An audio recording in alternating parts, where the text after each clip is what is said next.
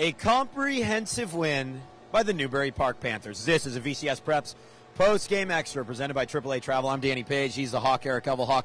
Eric, a pleasure calling this game with you tonight. It's my fourth time seeing the Panthers this year. Your first. There's something special, aren't they?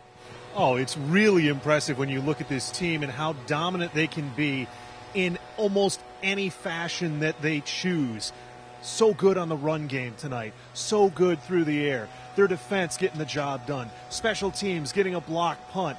They did everything in every aspect that you could ask for to come away with a win tonight. And offensively, they beat you in so many different ways, don't they? The Holmes brothers and how dynamic they are, but a really solid ground game and, you know, fourth and fifth wide receiver targets as well that are quite potent. Certainly, it makes it so difficult when you have to worry about Matthew Matlock and his ability to rip off a big run, a 38 yarder on the first drive of this game tonight, which really I think helps set the tone and open things up on the edge for Derick, for Darnay, for Prieto to get things going through the air. You realize he didn't even have to throw a single pass in the second half until the until the second team came in for Newbury Park in the second half. Yeah, pretty impressive stuff from Newbury Park offensively. But what stuck out to me tonight was their defensive performance. They gave up 26 points, they gave up zero meaningful points. The game was already done. It was a very impressive performance from a unit where, if you just look at the numbers, you see, oh, they tend to give up points. But that happens because the offense gets them so far in front. And even at that, they're still able to harass, bother quarterbacks, force turnovers. Plus, 16 plus 17 on turnover differential for the season. That's out of this world. I think the entire team's out of this world at this point, but I can tell you next week they will be in this world. A home game coming up. Let's first check in on the highlights from Newbury Park's big 42 26 quarterfinal win.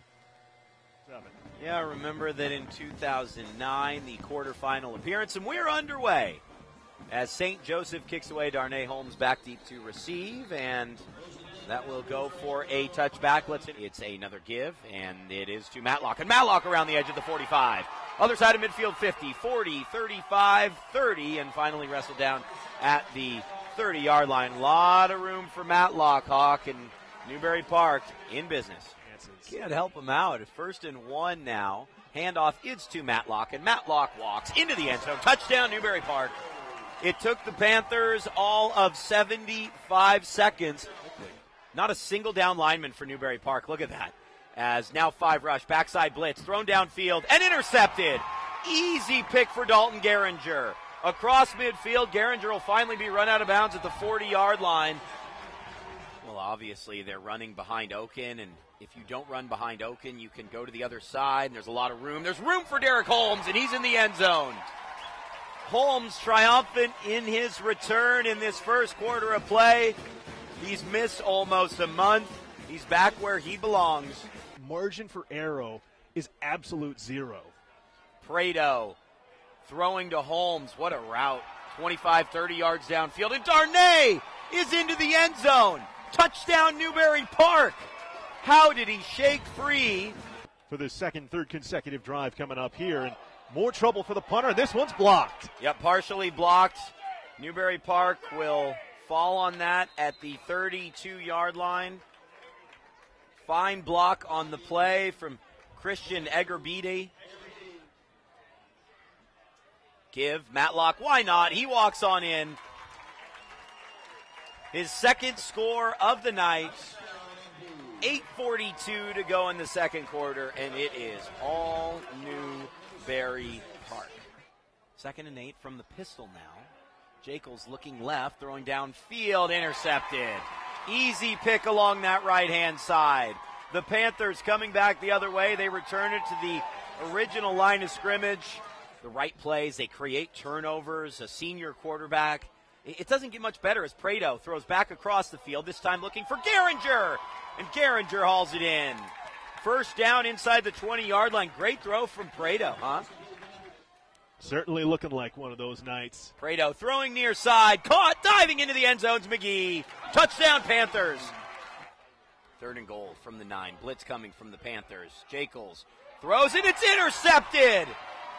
Picked off by the Panthers again. The third time. You are right, actually. Here's Jekyll's flushed again to the end zone, and he's picked off again inside the 10 yard line. This time it's Ryan McGee. Plus 12 on turnover differential coming in tonight. Make it plus 16 now. Jacobs runs to his right and fumbles the football. It's plus 17.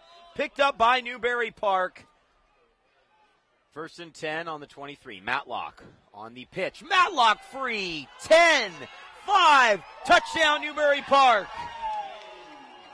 The Panthers appear to be headed to a CIF semifinal for the first. Newbury Park takes a knee, and the Panthers move to the CIF Southern Section, Northern Division semifinals.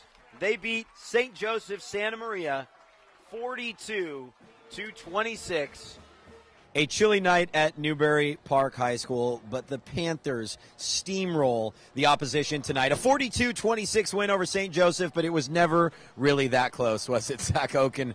Uh, thanks for joining us here, our player of the game, obviously. How far you and this program have come over the years. years. What a ride. No, it's been fun. I mean, this team is we're all together. We're all we're like brothers, and it just it shows on the field. Um, we all play together. We all we all like we everyone out there is like with each other. We we support each other, and even if we mess up, we're always we're there to to help them get out of it and move on to the next play. And it it's, it's it really shows. I mean, uh, the past few years, I mean, I'm not like we've had a great brotherhood, but this team I think is just special, and it's I think it's starting to show.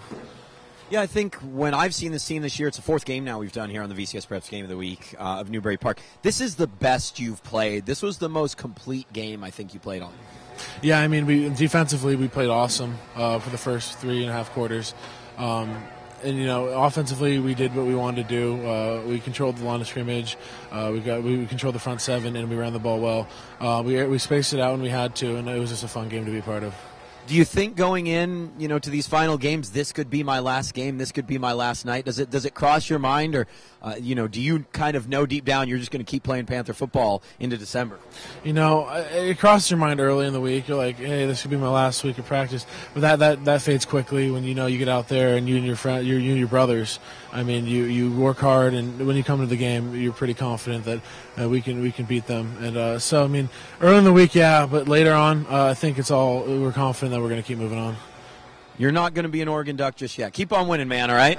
Yeah, I mean, I go up there in just a few weeks, so I mean, I'm trying to enjoy this last last ride with with my boys. So it's gonna be fun. Well, best luck next week. All right. Thank you. Big thanks to Zach Okun. He is a Newbury Park Panther for life. Huge win tonight. They move on to the semifinals. A third consecutive game here. We'll have full coverage on VCS Preps. Great night. Thanks to you guys. We will see you next week. Good night.